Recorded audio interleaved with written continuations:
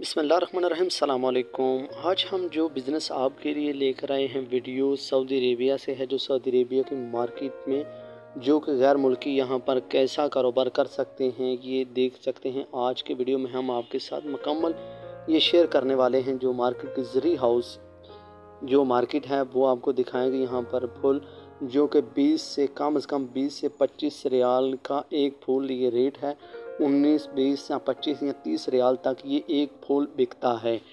और मार्केट ये अभी थोक के हिसाब से नहीं बात कर रहे। इस वक्त हम परचून के हिसाब से बात कर रहे हैं, जो कि जो कि एक पीस लेते हैं। मैं उनके हिसाब की ये बात करूँगा। कम अज़ कम पंद्रह से बीस या पच्चीस रियाल तक ये एक फ़ी पीस बिकता है, जो कि इस वीडियो के अंदर मैं जो आपके साथ जो शेयर कर रहा हूँ।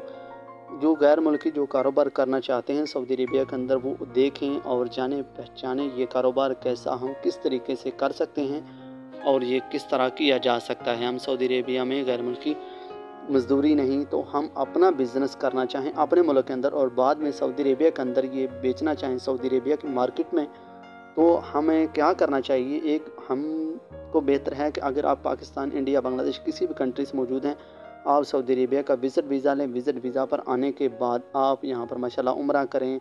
उसके बाद सऊदी अरेबिया की मुख्तलिफ़ सिटीज़ घूमें। वहाँ जहाँ पर आपको अच्छे मार्केट लगे ज़री हाउस की तो आप वहाँ पर कारोबार करें, दुकानदारों से मिलें, उनसे ऐसी डिस्कस करें अपने कारोबार के बारे में। अपनी कारोबार की इंफॉर्मेशन दें और यहाँ पर उनको पहले सैंपल दिखाएँ और उनके साथ डीलिंग करें। ये इन मैं आपको दिखा रहा हूँ। ये आपके लिए इन ये हेल्पफुल वीडियो होगी।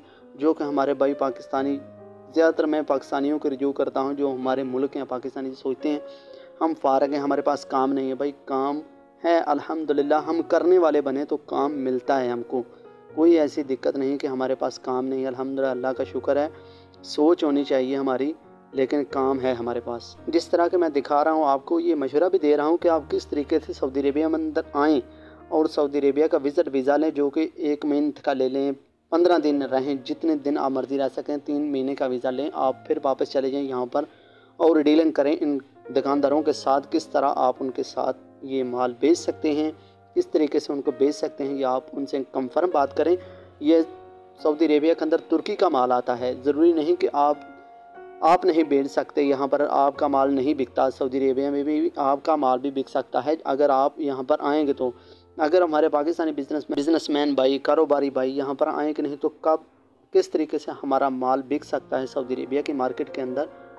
ये तुर्की का माल टोटल यहाँ पर तुर्की का ही माल जो कि सऊदी अरेबिया की मार्केट के अंदर बिक रहा है। अगर हम कोशिश करें तो इन विज़िट पिज़ा पर आएँ और यहाँ पर सऊदी अरेबिया की मुख्तलि सिटी देखें। यहाँ पर किन सिटी में काम ज़्यादा है तो ये अगर आपको वीडियो अच्छी लगे तो हमारे चैनल को सब्सक्राइब करें। मज़ीद इन्फॉर्मेशन के लिए